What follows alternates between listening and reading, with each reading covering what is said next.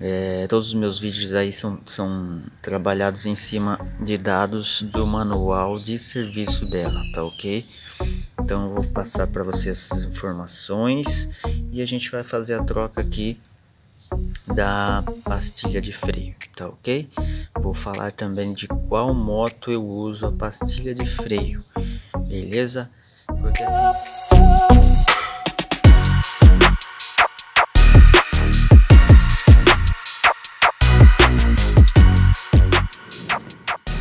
depois que tirou a roda, gente, você só desencaixa aqui, ó, tá? E ele sai inteirinho.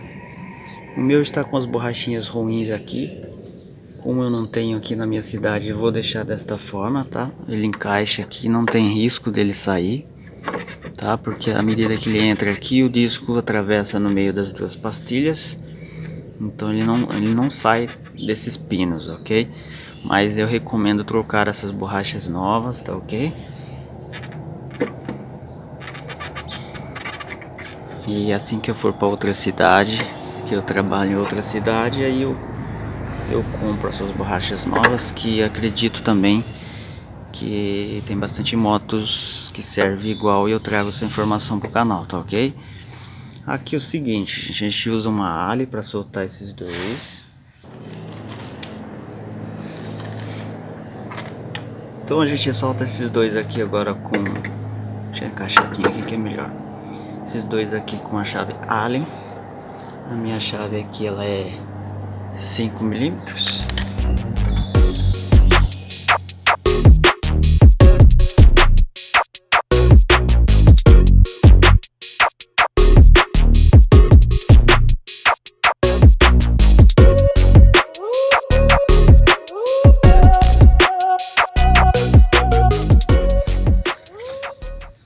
Pessoal, eu comprei esta tá? Na minha cidade aqui, é a única que tem essas lojas que vende Yamaha e Honda, né? Eu comprei esta da Yamaha, tá? Ela é da YBR 125 2008, tá? Ela tem essa orelha aqui, mas não precisa se preocupar não. Dá para usar tranquilamente. Claro que tem outras aí que dá certo também, sem ter essa orelha, né? Mas aqui na minha cidade é a única que eu achei. E olha como estava a minha... É, a minha pastilha. Aqui ainda eu acredito que tá no osso, mas... É, a gente vai fazer a medição juntos aí. Agora essa daqui, olha isso, já chegou no ferro, gente. Tá? Isso é muito perigoso, tá? Então não adianta eu querer rodar mais não, que já tava mais do que na hora. Durou bastante, durou bastante. Ah, faz um ano que tá essas pastilhas aí, mais ou menos um ano. É, em um ano eu já rodei, este ano na verdade eu rodei mais, para quem acompanha o canal aí, este ano eu estou rodando ah, 1.500 km por mês, tá ok? Então durou bastante essas pastilhas, não tem do que reclamar. A nova, olha que maravilha, ó. A nova vem com praticamente aqui 8,5, tá?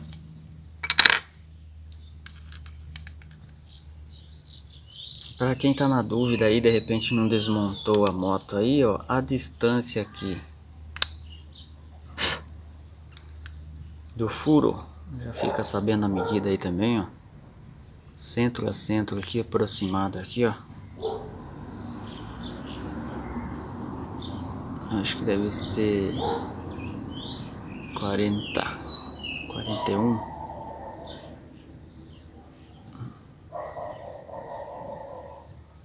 40 essa medida aí para quem quiser saber aí Tá, vamos medir a parte de fora aqui também.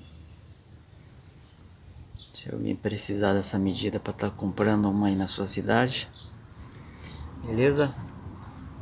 É, veja que esses pinos aqui é o que seguram ela para não sair de dentro da sapata aqui, tá ok?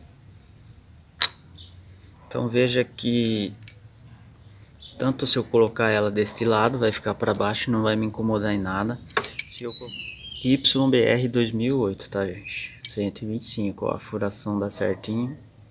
O desenho dá certinho. Só a orelha mesmo que fica de fora, tá? A outra aqui também, ó. Certinho, beleza? Então às vezes o povo, nossa, mas esse scooter não acha peça. Gente, acha sim.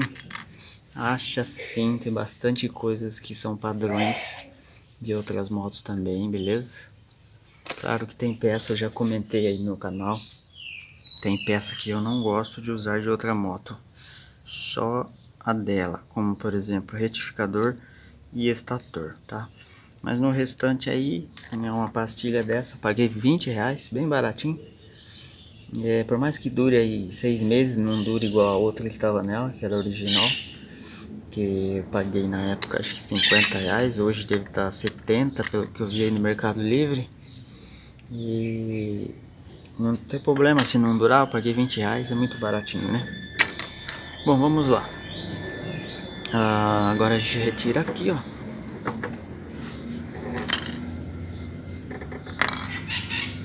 Essas duas peças aqui, para quem não sabe, o óleo chega até aqui, tá? Na medida que você pressionar lá, deixa eu ver se consigo mostrar. Pressionar o manete, ela empurra, tá vendo? Tá empurrando.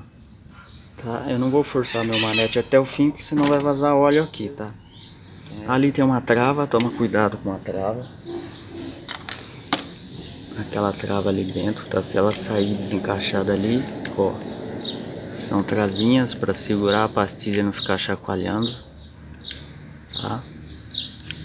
Então cuidado com essas orelhinhas. Aquele pino ali é o parafuso que vocês viram eu soltar, ó. Tá? Inclusive ele segura a chapinha ali também, ó.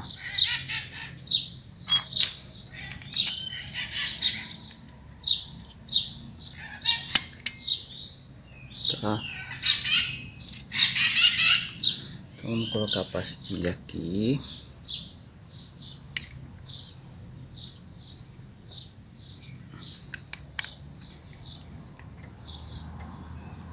Aqui desta forma aqui é melhor porque eu já posso estar tá encaixando a outra aqui no lugar.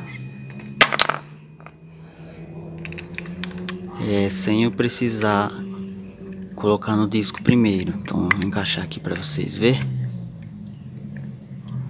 Tá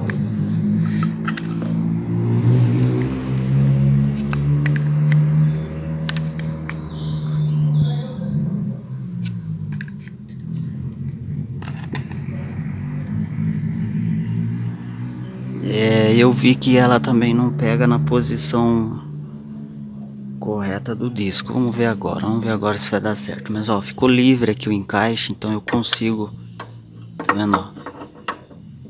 Já melhorou bastante colocando deste lado aí, tá? Podia estar tá usando uma original aí, gente, mas é que aqui na minha cidade não tem mesmo e eu não sabia que tava no osso a minha. Tá muito desgastada mesmo, então é perigoso. E vamos ver agora Bom, tá colocado aí, gente, ó. Ficou chique. Aí tem que apertar esses parafusos aqui, não esquece não.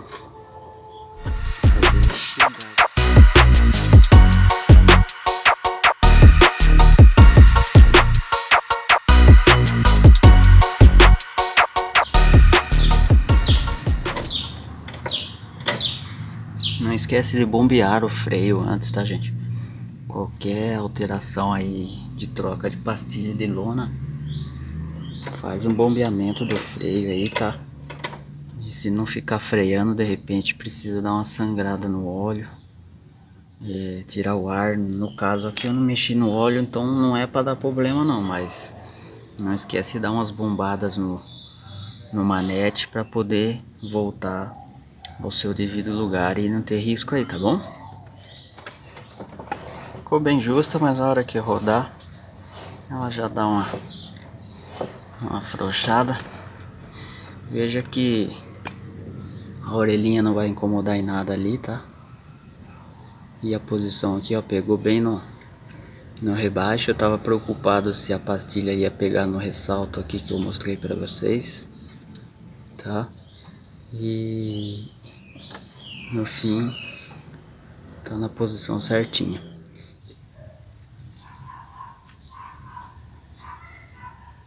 Eu já ia me esquecendo aqui, galera, o limite de uso aqui da pastilha, somente a pastilha, tá? É 8 décimos de milímetro, tá ok?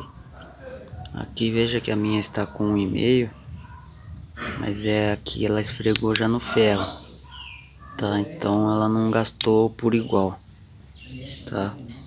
Mas o limite permitido é 8 décimos de milímetro. Até o próximo vídeo, tamo junto aí. Não esqueça o like, já se inscreva. Tchau.